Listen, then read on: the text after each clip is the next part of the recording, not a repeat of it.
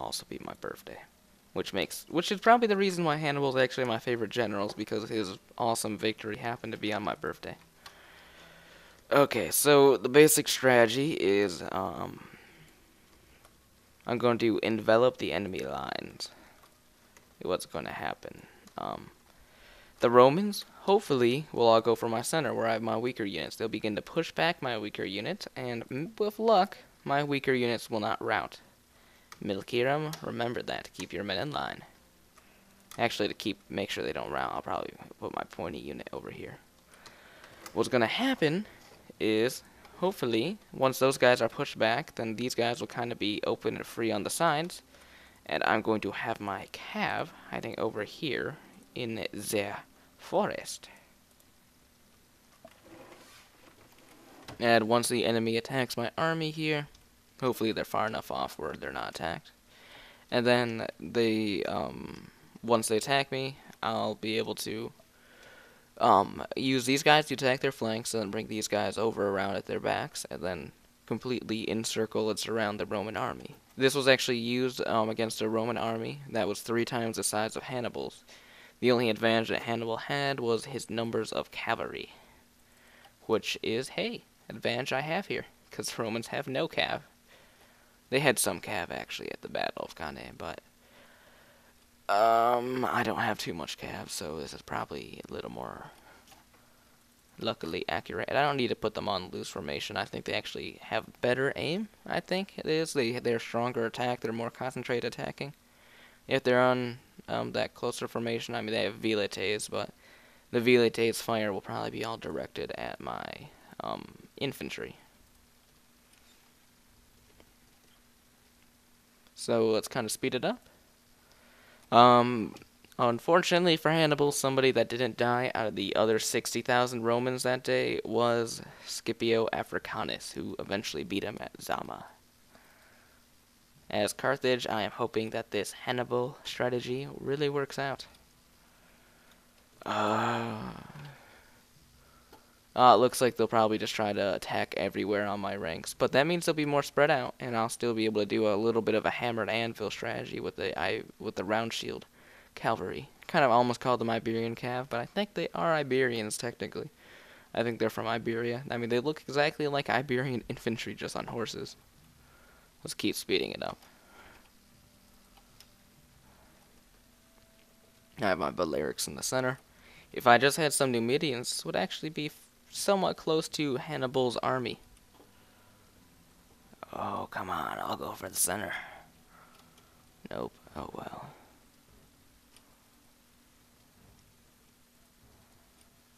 It would be smart, actually. Guard mode. March them forward. Give a little rally. Give a little rally. Get down tonight. Send you guys right here. Actually send the larger unit at the Velites. Smaller unit at the Romans general. Keep them occupied. Occupied. And this is the risk in Hannibal strategy. A complete chain rout starting from the center because you have weaker units there. Come on, guys. Damn it. Well, I want to have fun with this, and I think I may have just screwed myself over. Oh, God. Well, this is a disaster. One of very few I've had so far this campaign. I'm, I'm glad I didn't have a that many disasters so far. Come on, rout, rout, break. Milkherem is holding out still, but he is very... I killed their faction. Says their faction... Yep, that's their faction leader. All right.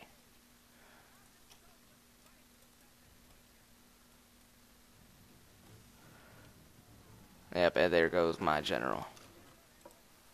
Which means no mercenaries to reinforce my army. However, I'll just exit the battle, pull out. Yeah. I killed 500 of them at least, and every loss to the Senate army is a good thing for me because they won't really retrain their units, as I think I said before. The Theophane's army. Yeah, this is what I was thinking was going to happen. They would attack me. They have, it's a one-to-one battle, yet they have such a huge advantage. I don't understand. They must learn to feel Theophanes. Feel, feel, fear Theophanes. Yes, not feel him.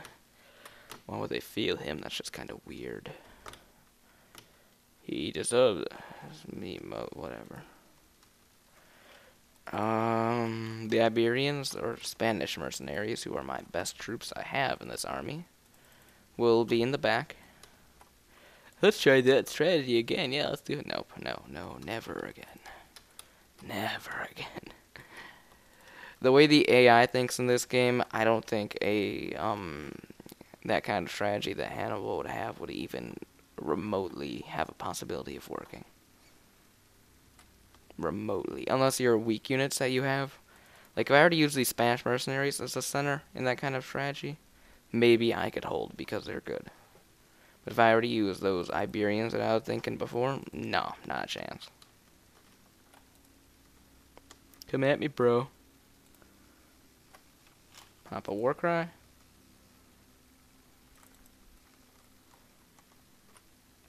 I'm a little worried because I've already lost one of my generals, and that means one of my armies. And this entire plan that I have been preparing for the entire campaign so far. Ooh, entire campaign so far may then just go to hell. It's a possibility that I am afraid of facing. And is very likely at this point because of the losses that I have suffered. I mean, Theophane's army is basically just was at originally maybe going to be a serious threat. However, I think um, since the campaign has extended, it's more of a distractionary force. As much as they have been able to harass and destroy the Romans, like Hannibal's army, in the end, they just can't be effective. They don't have the manpower and the, to be that threatening. I mean, I could very well still pull off a victory here, take out another Julii army, but this army alone will not be able to defeat and hold off the entirety of the Romans in the north.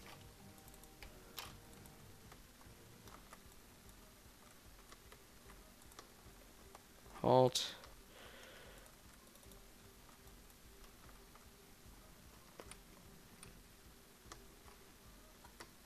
Come on, break. You guys are getting your ass kicked. There we go. Darby go. Get the charge but Oh man, I'm, my micro is not that good right now. Yikes.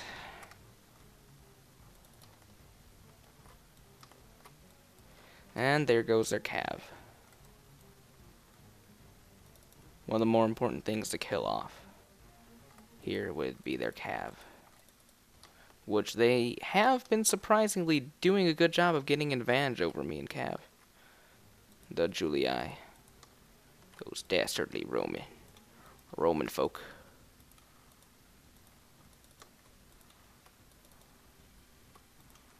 Dastardly Romans.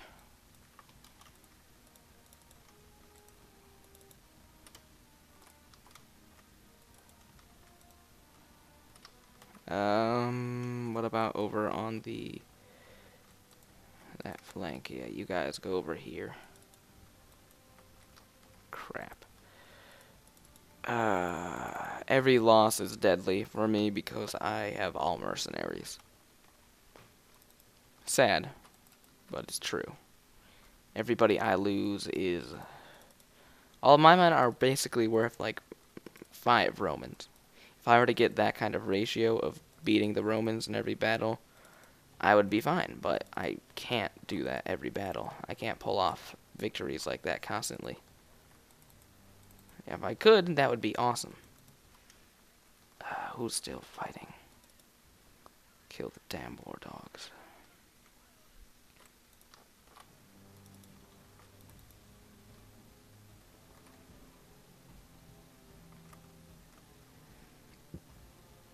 Who's not routing? Oh my god.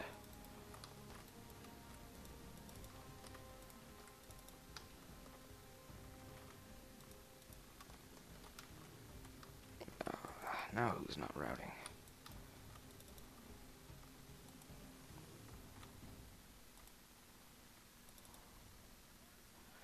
Get the Velites. No, Hastati. Hastati are much more deadly than Velites.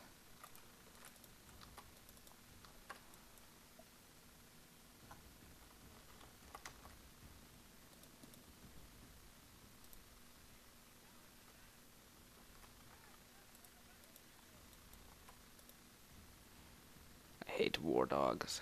They're a stupid unit. I don't want to be mean to the doggies, but they are a stupid unit in this game.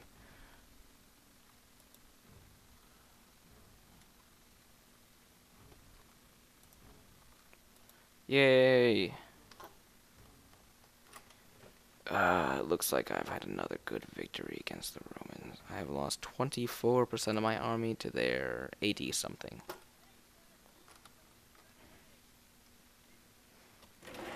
something. Alright, and that was a nice victory. I will admit. I will admit I did a good job. Pat on the back, but I am still very, very frightened for Theophanes and his army. And now I'm wondering, which do I go for? Mediolium? Medium?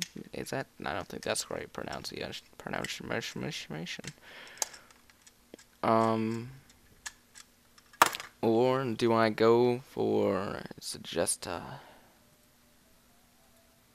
I'll go for no, no, no, no, no, no. Never mind. Actually, no. They're just a bunch of weakened units that I've routed from the battle already. Oh, and then uh, Milcarium. Your forces grieve your loss. You are an idiot, though. You try to copy Hannibal. Look how it turned out for you. um, yeah, alright, so I'll keep these three ships here to blockade Rome, just to be pester. To be a pest. I'll sail them back to Carthage. They'll link up with more troops that I guess I can train. Here you guys get Capua. And, uh, no, Bomilcar, you stay there as a um, besieging them. Well, I am somewhat tempted to end the part right now, and I think I will. Um, you know, definitely an exciting session. Just go over in review. The invasion, southern Italy.